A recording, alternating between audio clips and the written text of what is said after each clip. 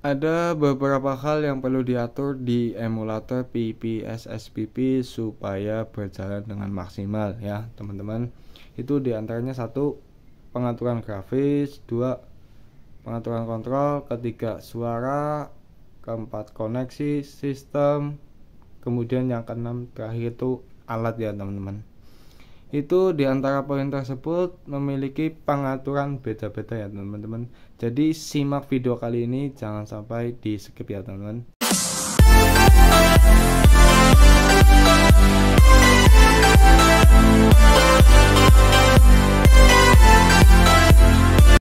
Halo teman-teman, balik lagi bersama saya Bang Risman Di video kali ini Bang Risman akan memberikan informasi tentang cara setting PPS SPP agar tidak lag Tidak patah-patah, suara jernih dan gambarnya jernih ya teman-teman. Tentunya yang nanti bisa kalian mainkan dengan enjoy tanpa adanya force close maupun black screen ya teman-teman. Oke tanpa basa-basi kita langsung saja ke menu pengaturannya. Oke gimana? Kita ke sistem terlebih dahulu ya teman-teman. Di sistem kita langsung scroll ke bawah cari yang atur ulang pengaturan PPS SPP kawal. Kalian pencet semua klik semua terus pencet OK jika sudah kalian ke atas ubah bahasa menjadi bahasa Indonesia. Usahakan dari bahasa kita samain dengan ini ya teman-teman chat yang kali ini. Oke selanjutnya kita scroll ke bawah untuk ke bagian emulasi. Untuk memori cepat tidak stabilnya kita jangan dicentang. Kenapa bang? Jangan dicentang supaya tidak ada yang terjadi yang namanya force class maupun black screen ya teman-teman Biasanya kalau yang memori cepat tidak stabilnya dicentang biasanya akan mengalami itu ya teman-teman. Terus okay. selanjutnya abaikan akses memori yang buruk kita centang. Untuk metode pewaktunya kita gunakan yang inang berkutu tapi lebih cepat ya teman-teman. Selanjutnya paksa sinkronasi pewaktu nyatanya kita biarin saja. Untuk pewaktu CPU PSP yang ditiru kita otomatis saja untuk putar ulang frekuensi foto. Kita matiin ya teman-teman. Kita pojokin ke kiri atau geser ke kiri kita pencet OK selanjutnya jika sudah kalian menuju ke grafis. Di menu grafis ada penyangga grafisnya. Kita gunakan OpenGL saja teman-teman. Atau teman-teman bisa lihat video kali ini yang di atas Selanjutnya resolusi pelukisannya kita gunakan 4 kali pps SPB.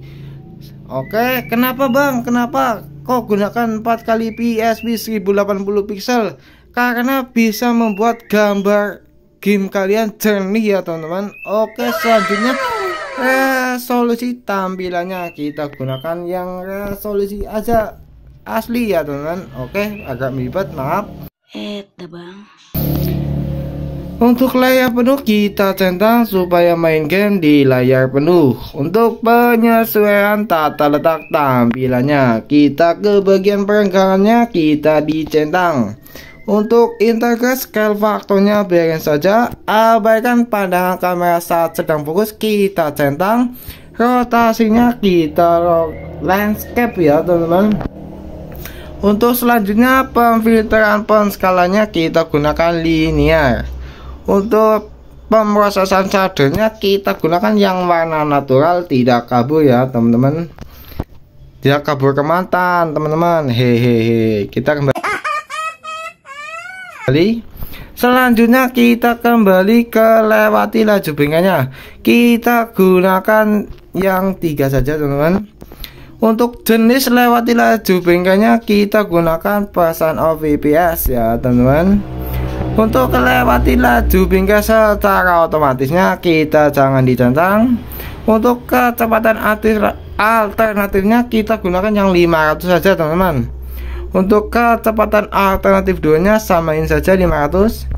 Untuk melewati efek pesnya enggak tata sangga lebih cepat kita biarin saja disable kalinya biarin saja skip GPU red barnya kita no default ya teman-teman Selanjutnya perlambatan penembelokan tekstur. Ada kalanya mempercepat kita biarin saja kualitas kurvanya. Kita gunakan yang kualitas kurva rendah ya teman supaya lancar.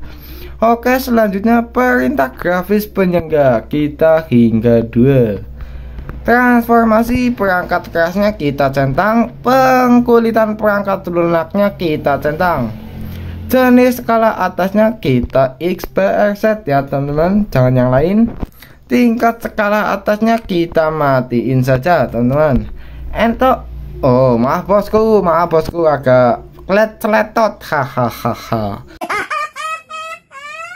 Deposterisasinya kita dicentang ya teman-teman. Untuk memperbaiki gangguan pita visual yang pada tekstur yang ditingkatkan untuk pemfilteran anisotropiknya kita gunakan yang 16 kali. Filter teksturnya kita gunakan otomatis kualitas maksimum ya teman-teman. Smart 2D-nya kita bisa diaktifin. Aktifkan cardboard VN-nya kita biarin saja. Untuk kamera perakatnya kita nol back kamera. Untuk resolusi efek lebih rendahnya kita gunakan yang agresif ya teman-teman tampilkan penghitung VPS bisa diaktifkan maupun tidak tapi saya tidak diaktifkan. Kenapa? Karena nanti mengganggu dari gamenya ya teman. Untuk sound speednya kita biarin saja. Debug filenya kita offin saja teman-teman selanjutnya kita ke menu suara di menu suara aktifkan suara. Kita jelas aktifkan suara. Untuk volume globalnya kita gunakan yang volume global 7 saja ya teman-teman. Oke kecepatan volume alternatifnya kita gunakan volume global. Ini caranya kita mentokin geser ke kiri terus gunakan volume global. Pencet oke OK ya teman-teman. Volume gamenya kita 10 saja achievement sound volumenya kita gunakan 5 saja teman-teman. Untuk selanjutnya penyangga bluetoothnya ada kalanya lambat kita jangan diaktifin ya teman-teman. Percuma nanti penyangga bluetoothnya lambat karena nanti misal teman-teman kalau pakai speaker bluetooth maupun handset bluetooth teman-teman suara gamenya akan terjadi lambat atau lag sedikit ya teman-teman. Jadi saran saya jangan diaktifin. Oke? Okay? oke. Okay okay. koneksinya kita biarin saja. Oke okay, seperti ini. Selanjutnya ke menu sistem ya teman-teman. Kita ke bagian mana ini teman? Ini ini. Untuk model PSP nya kita gunakan yang PSP 2000 3000 selanjutnya kita ke alat di bagian alat kita langsung alat pengembang. Simpan tekstur baru kita biarin saja. Ganti teksturnya kita dicentang. Untuk inti CPU-nya ya teman-teman ini sudah direkomendasikan dari emulator PPS SPP nya kita menggunakan di Nexit ya jangan yang lain. Kalau ada sesuatu yang lain itu saya nggak tahu jawab. Oke teman-teman? Oke tampilan penuh pengembang. Kita biarin saja buang ebot pin yang dideskripsikan pengaktifan ulang permainan.